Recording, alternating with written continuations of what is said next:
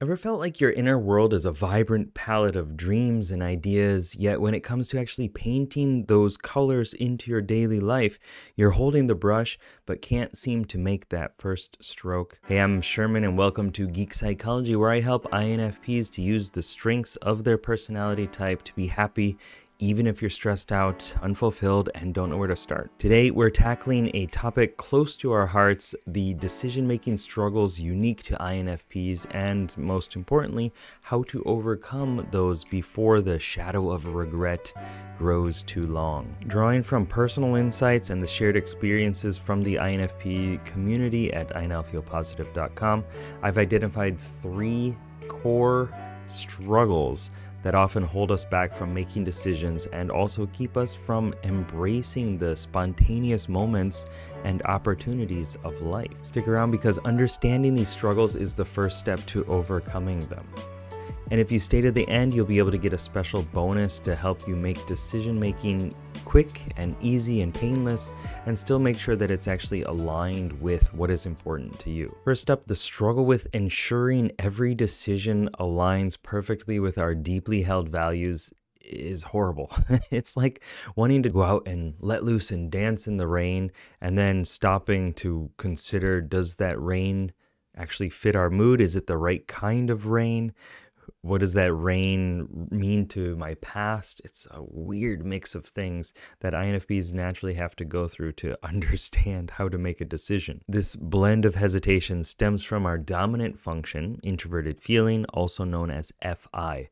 Or if you're into RPGs and story, then think of it as the soul this character within the fellowship of your psyche that drives us to align every action with our personal values and ethics. They're our conscience. And when faced with spontaneous decisions, this internal compass can make us second guess. Our conscious conscience can give us different ideas, and we have to decide does this really fit our authentic self? Leading us to this long pause rather than an immediate and action focused leap into decisions. The key to overcoming this, though, is accepting that not every decision needs a thorough value check. And I know it feels like that, and we want to make sure that all of our parts have some have their voice in the discussion and in the decision. You can check it against your top three values though and make a quick decision, or you can just start to trust that your core values are already guiding you, even in the spur of the moment. Let go a bit and trust yourself. And if you don't trust yourself yet, then it means that you need to do it more.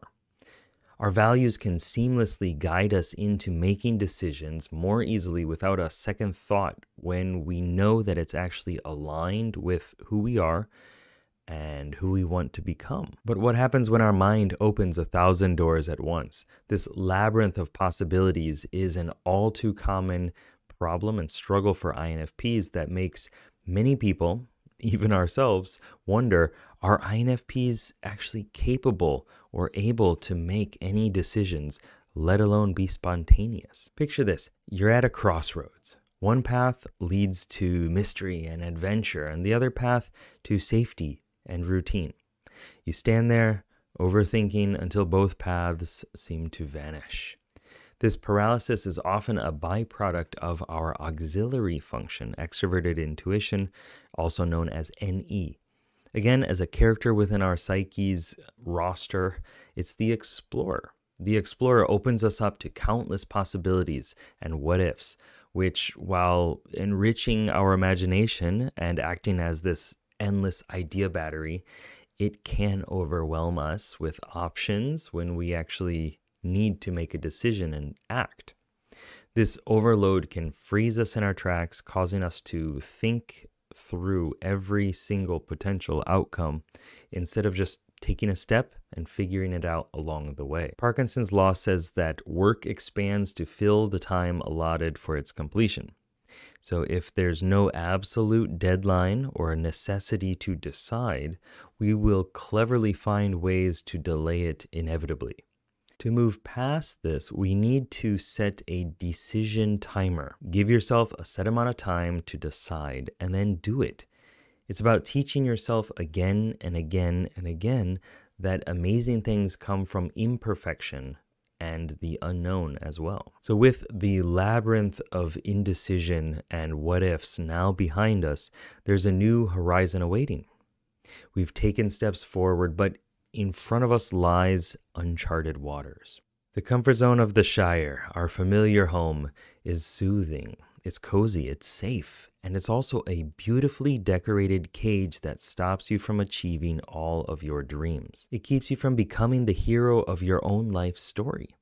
If you do what you've always done, you cannot get different results.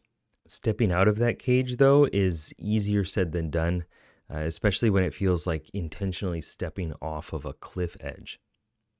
Our tendency to retreat into this experiential comfort zone, this physical comfort zone of things that we've experienced before, is linked to our tertiary introverted sensing, or SI.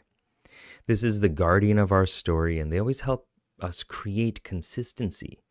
They draw us towards the familiar and the routine, providing a, a sense of stability and predictability. While comforting, this reliance on the known can inhibit our spontaneous spirit, limiting our creativity and making the unfamiliar seem more daunting than it actually is. Here's how to deal with it small steps. Start with tiny acts of spontaneity and decision making in safe environments. Go dance in your living room, take a different route to work, uh, try a different type of pasta, say yes to something minor and new. Uh, even if you weren't sure if you'd like it or not, just do it.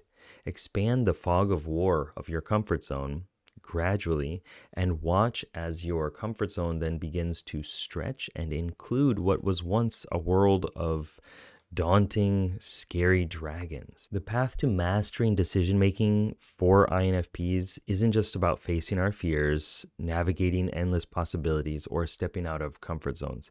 It's about having a concrete strategy, a go to tool that turns the daunting into the doable. That's why I've made the decision matrix, which is a tool that marries our FI and NE the soul, and the explorer, allowing them to work in harmony. By balancing our rich emotional landscape with an explosion of creativity and curiosity and imagination, this method offers a structured yet flexible approach to making decisions. It acknowledges the complexity of our inner world while providing a clear way forward. So you can click on the link in the description or go to geekpsychology.com slash INFP decide to get free access to the workbook with the decision matrix so you can make decisions with confidence and clarity. If you found a spark of inspiration today, then consider subscribing for more insights, more strategies, and more that awesome feeling of like, finally, someone that speaks my language and thinks like me. Thanks for joining today, and until next time, keep dreaming, keep daring, and most importantly, keep being you.